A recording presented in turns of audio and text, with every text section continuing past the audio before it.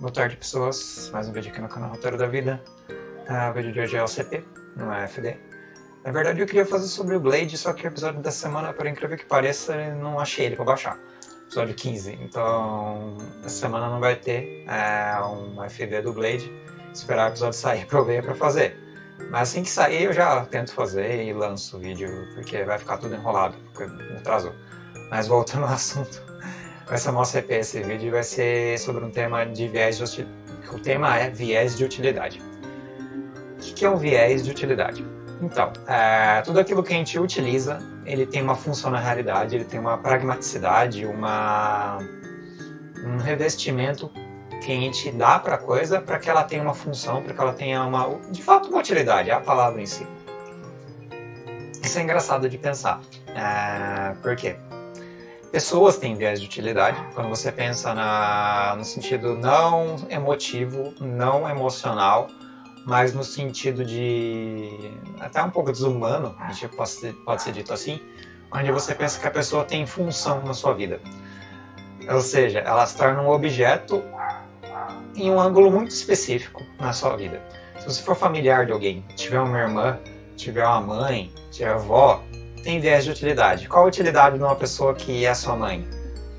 É, é meio chato falar essas coisas, mas você só vive por causa que ela te nutriu, porque ela te ensinou as coisas que você sabe ler, ela te deu as ferramentas necessárias para você viver na, na, na, realidade, interagir com o mundo. Uh, então, ela pode ser desumanizada. Entendeu? Todas as pessoas do seu cotidiano podem ser desumanizadas e tratadas como ferramentas. Isso é uma é uma desumanização é, prática de tirar, entendeu? O preenchimento das pessoas, de pensar nas pessoas como coisas. E dá para fazer isso, porque o viés de utilidade ele está inserido em todas as nossas ações. Só que a gente não, a gente reveste o viés de utilidade com vieses emotivos, vieses intelectuais, vieses morais. São outros vieses que dá para você aglutinar e dizer a relação é isso, a relação ao todo dessas coisas. É o todo da moralidade, é o todo do intelecto, é o todo da, da parte mecânica, mas no sentido mais raso, que é o primeiro mesmo. O primeiro sentido é o de utilidade. Se você tem um alimento, você quer comer um alimento, por exemplo, é, que te dá prazer, não importa tanto o prazer, o que importa é se você vai sobreviver a partir do, da alimentação. Então você vai lá e a utilização desse alimento, de qualquer tipo de alimento, provavelmente grãos ou carne é, de caça, pensando numa coisa mais primitiva, vai te manter vivo. Então a utilidade é te manter vivo. Com o passar do tempo, esse verde de utilidade ele dá uma deformada, aí você tempera, aí você cozinha, aí não sei, faz uma mistura de ingredientes e vira um prato diferente ele mantém a mesma utilidade que os ingredientes primários, ele vai nutrir você de maneira mais ou menos constante, né? Vai ter um. Não, lógico tem diferença entre você comer coisas cruas e tal é, para o seu corpo e as consequências que isso causa. Mas os dois são viés de utilidade, só muda as consequências. É a mesma coisa como eu falei, familiar. Você pode ter uma avó e ter uma mãe. É, ambas as pessoas vão te ensinar, ambas as pessoas vão te dar alimento, ambas as pessoas vão te dar verba financeira vão te dar realidade, vão te dar um ambiente onde você nasce, ou seja, uma socialização, não só apenas com a família, mas com todas as pessoas que estão dentro da sociedade, dessa sociedade onde você está inserido. Pode ser uma vila, uma cidade, uh, um bairro, uh, não sei, religião, você pode ir para a igreja, ou você pode ser inserido na escola também. De um modo ou de outro, tudo isso tem um viés de utilidade. Ele te instrumentaliza para que você dê conta de interagir com o mínimo que é requisitado para você como um membro humano na sociedade. Para você ser um membro humano da sociedade, você tem que saber ler, você tem que saber fazer conta, você tem que saber se expressar, falar, você tem que saber é, sentir, né, ter um certo instinto na, na hora de agir, na hora de se expressar, saber respeitar emoções. E dependendo do grupo, você é convidado a ser preconceituoso ou convidado a não ser preconceituoso, dependendo de onde você está. Por exemplo, você pode ser uma pessoa que tem um nicho de digamos, faz parte de um grêmio estudantil. Esse grêmio estudantil ele tem preconceito para com, de fato, um preconceito justificado para com a opressão do sistema que o priva de ter dignidade, no, de, de, alimentar a dignidade de moradia na, na universidade onde desse grêmio se localiza. Só para ilustrar. E, mas você está tendo um preconceito no sentido de que, não que não seja um preconceito justificado, mas é um modo de agredir, é um modo de resistir e é um modo de lutar. E todo modo de lutar é você por um oponente e um inimigo. Quando você tem um oponente e um inimigo, você vai é, entrar em conflito e atrito. E entrar em conflito e atrito significa, de maneira pragmática, é, tombar, tirar a força, é, às vezes negociar, fazer diplomacia, às vezes simplesmente fazer pressão, tirar a zona de conforto, tirar a estabilidade, tirar o poder do outro e fazer o poder ser disseminado ou às vezes tomar o poder. Às vezes acontece. No caso, seria disseminar o poder para que todo mundo tivesse justiça. Isso também é um viés de utilidade. Por quê? Porque tem utilidade para você, no sentido de que você pode se sentir melhor, você pode estar num ambiente mais adequado, todos os seus pares também vão estar num ambiente mais adequado, mas de um modo ou de outro, você está num ambiente onde um preconceito e um, um conflito, onde um atrito é necessário. Você precisa de um oponente, você precisa de um inimigo. Então, é utilitário, é utilitário também, é uma coisa pragmática, vira um objeto também. E se torna dados, se torna estratégia, se torna informação tudo aquilo que se torna informação e você lida apenas com, a, com o lado de informação é utilitário. Tudo que é numérico é utilitário. Quando você tem um número de RG ou você vira um, uma estatística num, num, sistema, você é utilitário. Se você é um desempregado, dentre os 10% da população desempregada, você faz parte da estatística. Se você é alfabetizado, você faz parte da estatística.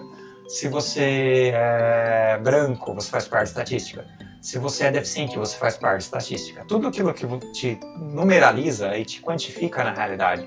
Não qualifica, porque qualificação é uma outra coisa. Mas a quantificação, ou seja, a substância, a interação com a materialidade das coisas e a localização dessa materialidade no espaço é objetificação e é um viés de utilidade. Vocês podem perguntar, eu mesmo me pergunto, qual diabos é a proposta disso? Por que diabos você fala sobre viés de utilidade? Porque, voltando para as OCPs, e a pegada dos OCPs é construir personagens e entender pessoas, e entender pessoas para fazer personagens, é, é, muito legal de você pegar é, a, essa substância primeira, né? essa quase essência das relações humanas, onde o que importa é o pragmatismo. É, quando você é desprovido e despido de toda a sua moral, despido de todo o seu intelecto, despido de todas as pulsões de controle sobre o meio, a única coisa que sobra é a sobrevivência. A sobrevivência ela se dá em diversos patamares. Os patamares mais rústicos, quando você precisa sobreviver na alimentação, quando você precisa dormir, quando você precisa de segurança, quando você precisa hum, lutar contra a doença, entendeu? Tudo isso para você se manter vivo. Aí, para você se manter vivo, é bom ter parceiros e pessoas que caçem com você para otimizar o armazenamento de comida. Então, é utilitário que você tenha uma aglutinação de pessoas. E a aglutinação de pessoas gera a necessidade de transferir é, sei lá, reprodução ou domínio de técnicas. E aí você tem uma sociedade que domina a agricultura, domina a caça, domina ferramentas e fogo e vai avançando. Então, tudo parte de um viés de utilidade.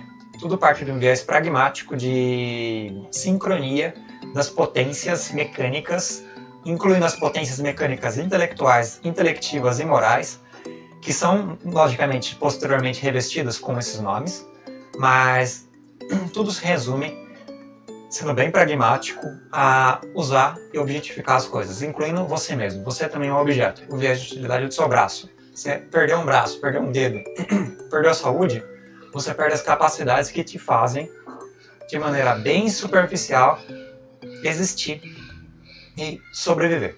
Entendeu? Porque você entra num ambiente onde você está defasado. Então você é prejudicado.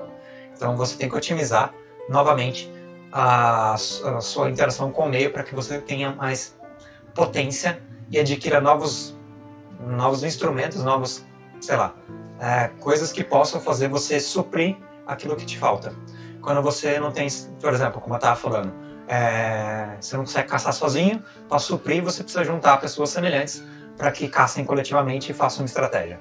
Você não consegue educar o filho sozinho, bom, na verdade você consegue um pouco, mas é, se tem uma sociedade ali, você não dá conta de todas as funções dela. As funções é, é caçar, é fazer instrumentos, é ensinar, é fazer prédio. Então você segrega as funções é, e deixa cada um especialista ou cada um responsável por uma função.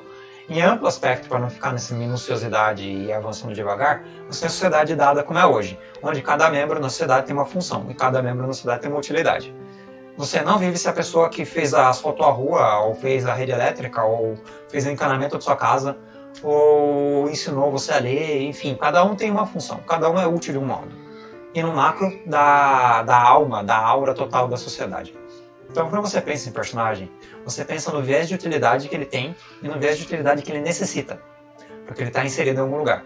Então, o que ele tem é aquelas potências que ele exerce, as capacidades que ele tem. Se ele é hábil com faca, se ele é hábil com, sei lá, se ele domina o conhecimento de fazer alguma receita, seja química, seja de alimentar, seja se ele é estratégico, se ele tem uma boa visão, aí biológico também, as características biológicas que ele possui ou que você possui e o quanto ele tem de interação com outras utilidades de outras pessoas ou outras, não necessariamente pessoas, pode ser com o meio, tipo o viés de utilidade da floresta, o viés de utilidade das pedras, o viés de utilidade da água, para fazer o moinho, para você pescar, para você fazer, sei lá, é, lavar as coisas, minerar, às vezes, minérios diversos que tem no rio, não sei, entendeu? Tudo tem um viés de utilidade. O ponto é, quanto menos você humanizar as coisas e quanto mais você for pragmático, no sentido robótico mesmo, pensa numa IA é, não humana, ela vai pensar assim, entendeu? Então, ela não vai ter todo o revestimento moral, ético, epistêmico diverso que um humano normalmente tem e que leva em consideração é, ao, ao reagir na realidade, que deixa a realidade com outras tonalidades. Então, quando você pensa em personagens robóticos, ou quando você pensa em pessoas robóticas, ou pessoas que são antiéticas mesmo, porque elas estão ali para, de maneira muito pragmática, para conquistar objetivos. Então, elas podem é, abrir mão de muitas e muitas coisas, de muitos e muitos, é, elas podem pegar muitos atalhos e se agir de maneira completamente inadequada, de acordo com outros parâmetros, para conseguir objetivos por exemplo, ser corrupto, por exemplo, manipular dados e informações, ou pagar menos salário, ou, não sei, ser egoísta de N modos. Se, se quiser usar uma pessoa sexualmente, você vai lá, faz uma mente para a pessoa, é, engana a pessoa, promete coisas. Todo esse tipo de, de relações onde você não tem um apego com a ética, um apego com o modo que você faz ação e pensa no objetivo. Isso é um modo utilitário, é um modo de esvaziar a humanidade do outro. Então, isso acontece. Isso, enfim, é, a gente é humanizado num processo de socialização. Se você se tornar um sociopata, você desumaniza-se. Essa é a ideia. Mas, em geral, a pegada era mais essa, de falar o que significa um personagem robótico, o que significa um personagem objetivo, e o quanto é engraçado de você ver que, tirando, enfim, toda a carga humana e moral das coisas, elas se tornam completamente utilitárias. Para os animais uh, não conscientes ou conscientes no seu nível de consciência, o mundo é assim, entendeu? Quando você pensa num, sei lá, um gato, num passarinho, num lobo, num urso, eles têm um viés de utilidade biológica e a moral deles nada mais é do que esse viés de utilidade biológica, que é o próprio instinto dele, o próprio modo como eles agem e vivem. E não muda. E é isso. É, no caso do humano, o modo como ele age e vive é tudo isso que a gente vê. Então, pode sim ser descrito, significado e analisado de maneira extremamente simples. E todo o resto que não é utilitário, ou que não é visto desse modo, pode ser literalmente limado, porque não faz diferença, é só uma consequência diversa por um mecanismo diverso que também é utilitário.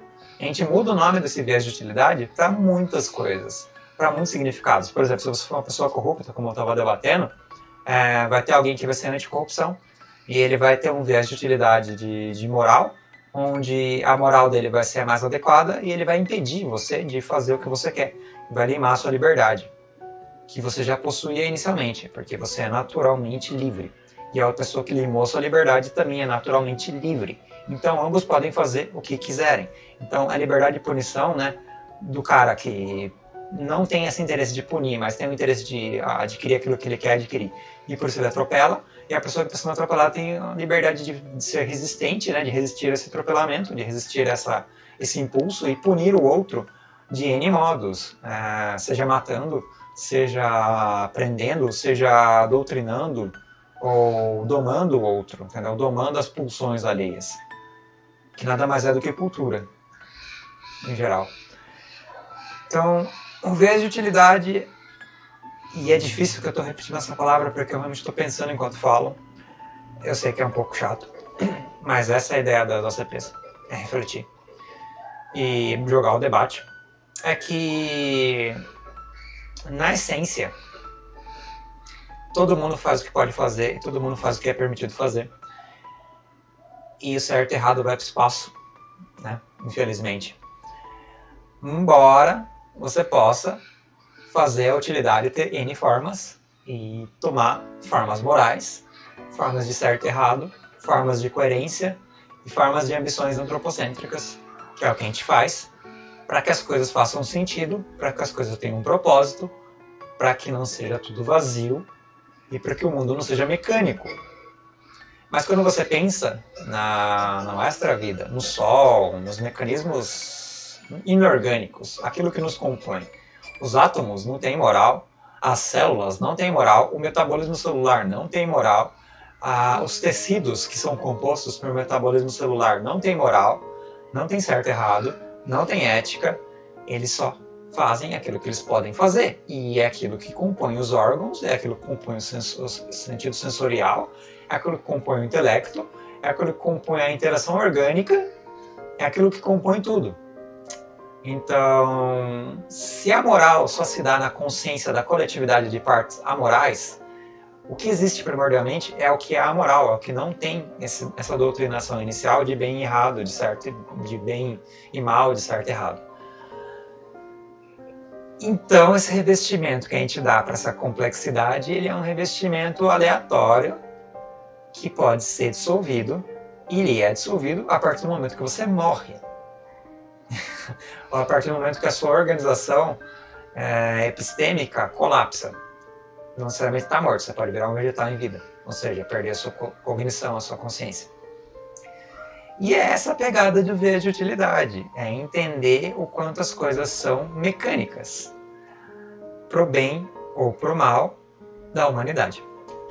E é isso. Hum, é uma coisa bem estranha mesmo. É, é um modo de pensar para você conseguir criar as coisas. É realmente para criar coisas, é para ter imaginação e criatividade a partir de relações complexas pragmáticas e entender como você pode fazer vilões, ou pessoas antiéticas, ou pessoas egoístas, no sentido de criar personagem mesmo. Ou entender pessoas que são assim na realidade. E essa é a graça, porque elas estão tirando, é, quer queiram, quer não, elas estão esvaziando certos mecanismos que a gente quer que estejam ali, né? A gente quer que eles revistam, quer, eles estão tirando a alma e a aura das coisas e vendo as coisas de maneira mais mecânica e agindo de maneira mais mecânica para conseguir resultados mecânicos que são satisfatórios para aquele indivíduo em específico. Era essa a ideia. É, bom, é isso. não sei. É, vocês podem pensar um pouco sobre esse assunto, não sei. Eu estou pensando ali agora. Uh, e tem outros ângulos também, mas eu não vou ficar me alongando mais, o vídeo já está longo, já estou me repetindo em vários. Eu vou fazendo aquele esquema de espiral, né? Onde eu falo uma coisa, retomo outra e repito um pouco para avançar um pouco, repito um pouco, avançar um pouco. Isso é cansativo. E é hora de acabar o vídeo e de ficar quietinho. Até uma próxima OCP, pessoas ou outros vídeos aí que tiver. E é isso. Obrigado por ouvirem. Até mais.